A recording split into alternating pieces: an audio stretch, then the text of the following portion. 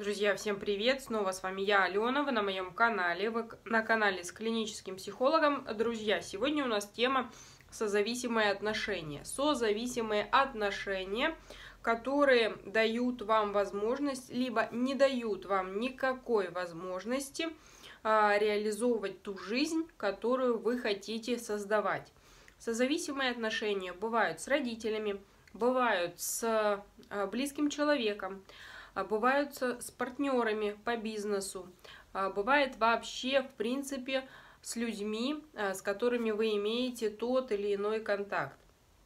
Друзья, те люди, которые имеют созависимые отношения, они изначально обречены на что, как вы думаете? Они обречены на неудачу и они обречены на неуспех в жизни. Почему так происходит? Потому что люди, которые входят в порочный круг зависимости, э, очень быстро выгорают. У них э, сложные отношения с миром, и они зависят либо финансово, либо эмоционально, либо интеллектуально, либо физически.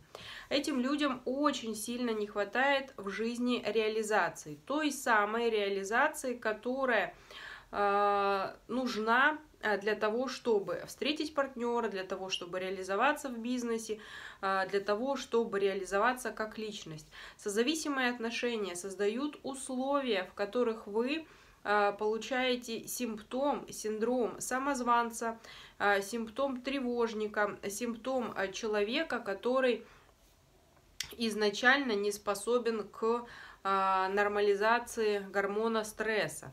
Созависимость возникает тогда, когда а, у вас а, нет уверенности в себе, у вас нет уверенности в будущем, у вас нет понимания, что такое настоящее и как работать с настоящим моментом. А, есть такая история, как повышенная тревога. И повышенная тревога дает тягу к сладкому, дает тягу а, к порочным отношениям, дает тягу к, а, к вообще к жизненным каким-то моментам, которые не дают вам качественно себя чувствовать. Также, друзья, очень важно для людей, у которых есть созависимые отношения, начать работать с а, состоянием кризиса. Что значит состояние кризиса? Это значит, что а, у вас в жизни происходит что-то, что вы не можете принять, что вы не можете отвергнуть, а, либо что вы не можете а, включить в свою жизнь как а, что-то приятное и что-то замечательное.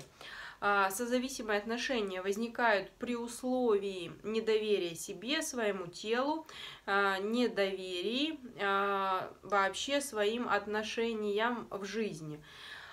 Что нужно делать для того, чтобы убрать это неприятное состояние, что нужно делать вообще в принципе.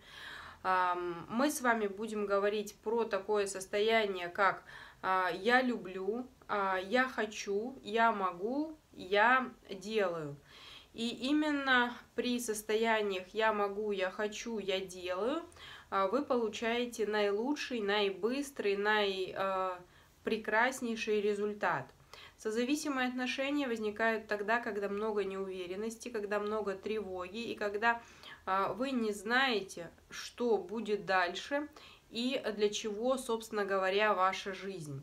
Созависимые отношения э, будут разрушать паттерны вашей жизни, потому что или для того, что э, вы, для того, чтобы вы изменили полностью понимание, э, что есть вы и что есть ваши симптомы. Симптомы неудовлетворенности, симптомы стресса, симптомы триггеров, симптомы повышенной тяги. К чему повышенная тяга? это могут быть совершенно разные вещи.